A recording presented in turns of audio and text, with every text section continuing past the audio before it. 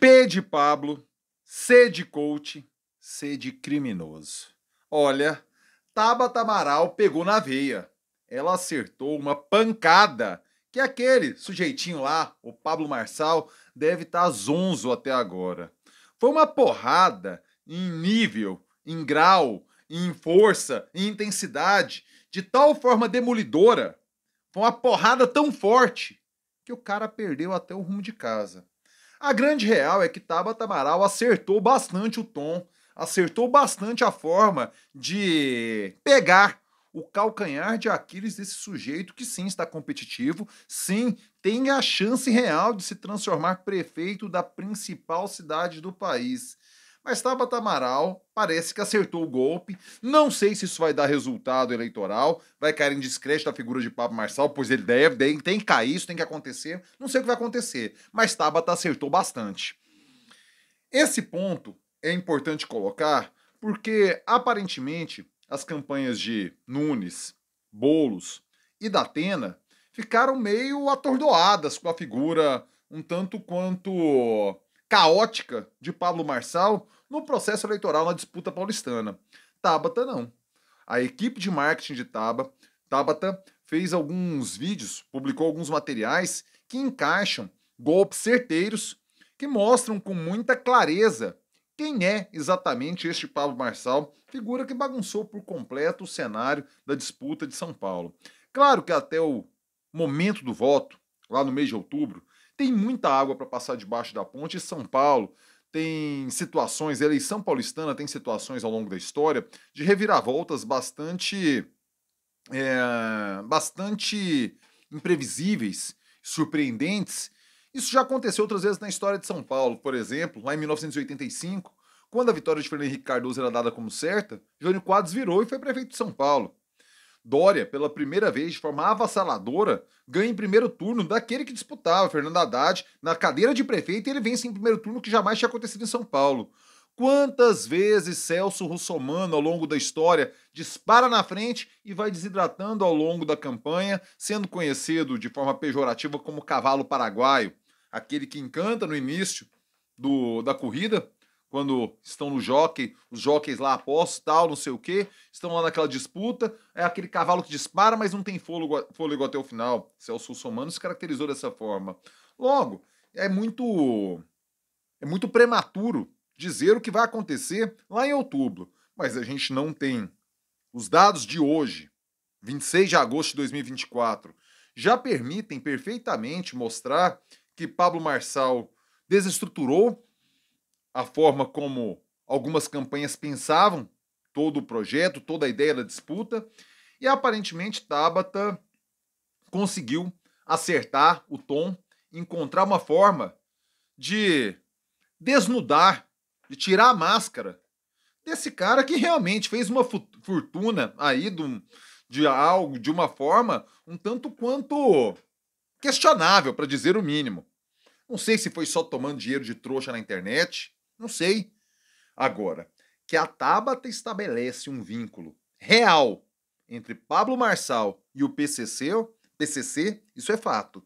E claro, a situação de desespero que o brasileiro médio vive em relação à criminalidade coloca esse vínculo de forma colocar esse vínculo de forma tão explícita como Tabata faz é um problemaço para Pablo Marçal resolver, sabendo de todo o seu passado, sabedor de quem efetivamente banca a sua fortuna, o seu sonho eleitoral, que ele sabe tudo que ele fez no verão passado, nos anos anteriores, ele sabe o seu passado, ele sabe o seu currículo. Tabata quer mostrar isso ao eleitor de São Paulo.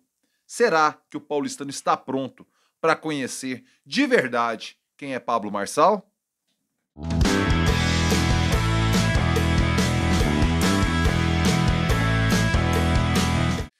Fala aí, rapaziada! Tudo beleza? Bora gravar o vídeo de hoje, segunda-feira, dia 26 de agosto de 2024. Sim, voltei de férias, eu estava com saudades de você. Muito obrigado aí por ter permanecido no canal esse tempo aí que ficou somente com os cortes, né, rolando e tal, não sei o quê. Mas você sabe, o trabalhador brasileiro precisa de férias. Eu estava gozando, curtindo as minhas merecidas férias ao longo desse final de julho e início de agosto. Muita coisa aconteceu, mas é sempre assim, cara.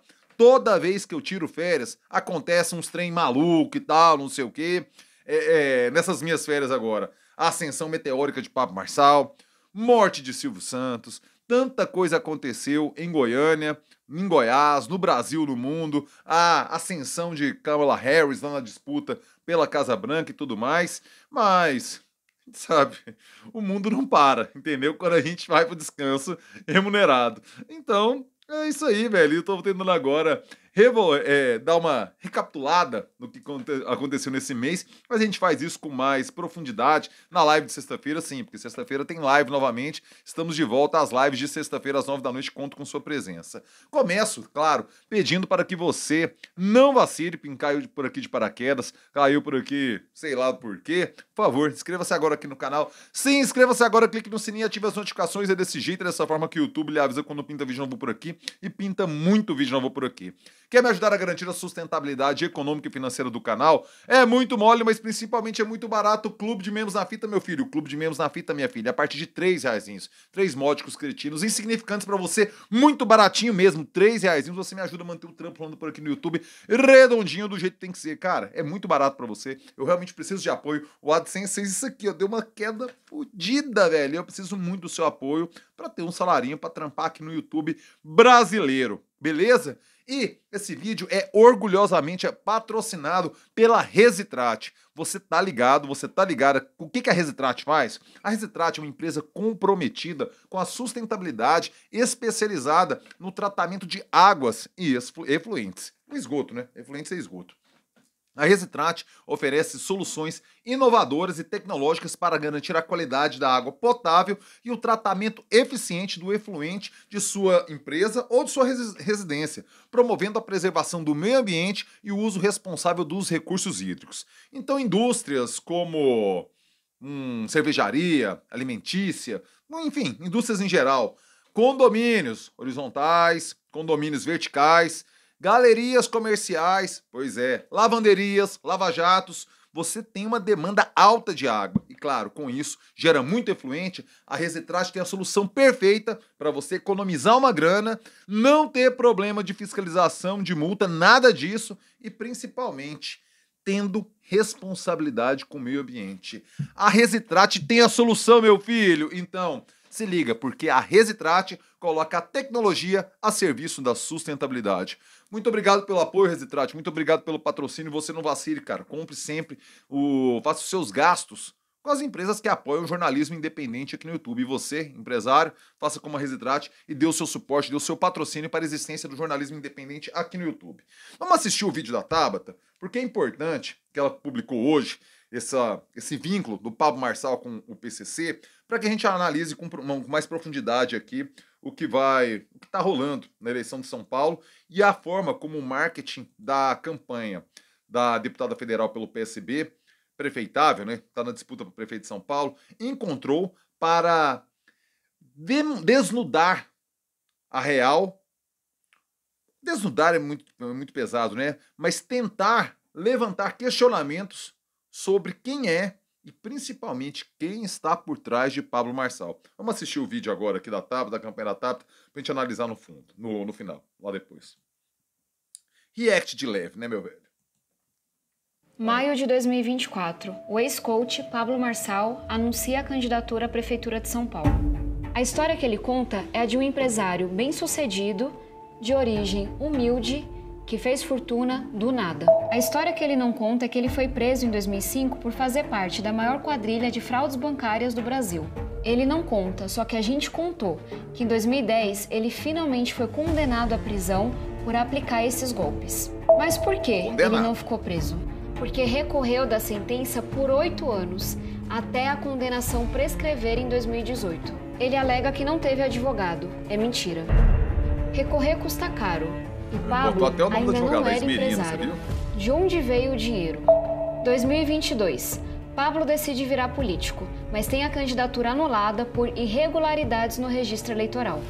2023. A Polícia Federal faz busca e apreensão na casa de Pablo. Né, Vem a público que ele está sendo investigado por falsidade ideológica, apropriação indébita e lavagem de dinheiro na candidatura a deputado. De onde vem esse dinheiro? Chegamos a 2024, a criação de centenas Nossa, de perfis grana, que né, disseminam ataques a adversários e conteúdos de apoio a Pablo Marçal nas redes começa a levantar suspeita. O próprio Pablo é gravado revelando o esquema. A criação de uma comunidade online em que ele paga as pessoas para produzirem os vídeos. De onde vem esse dinheiro? Quem está por trás do Pablo Marçal? Quem é que banca essa candidatura? Uma pesquisa por seus aliados esbarra sempre nas mesmas letras. P de Pablo, C de coach, C de criminoso. Presidente do partido, ex-presidente do partido, aliados, esquema de troca de carros de luxo por cocaína. Quando questionado, Pablo disse que está cercado de gente ligada ao crime organizado é normal. A justiça entra em ação determina a derrubada Normal. dos perfis impulsionados Olha. Com dinheiro de origem suspeita. Agora o Pablo se faz de vítima, se diz perseguido, punido pela justiça eleitoral por praticar crime eleitoral. Nas últimas horas, vendo o cerco se fechar, Pablo cometeu mais um grande erro.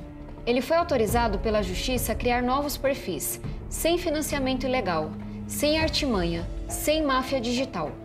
Ou seja, recebeu uma chance de recomeçar, mas Pablo não consegue jogar dentro das regras. É aí que ele faz exatamente o que a gente esperava. Dá mais um passo fora da linha, um passo em falso. Porque a gente já identificou como é que ele ganhou tantos seguidores na conta nova em tão pouco tempo. Um spoiler não foi graças ao seu rostinho harmonizado. Agora o meu recado é para você, Pablo. Eu sei que você tá com medo de ser preso. Eu sei que você já tá pensando em desistir. Mas calma. Domingo que vem tem debate. Os outros candidatos já disseram que não vão. Vamos ser só eu e você. E eu vou apresentar as minhas propostas para a cidade, mas também vou desmascarar você, mais uma vez. A gente se vê no próximo domingo, dia 1 de setembro, às 18 horas. E não foge que vai ser pior. É. Eu já falei algumas vezes, vocês que me acompanham aqui no canal há mais tempo, de que uma disputa eleitoral você pode sair vencedor, e sempre só tem um vencedor de uma disputa eleitoral. Só que não é só da eleição que a gente fala. A gente fala também da política.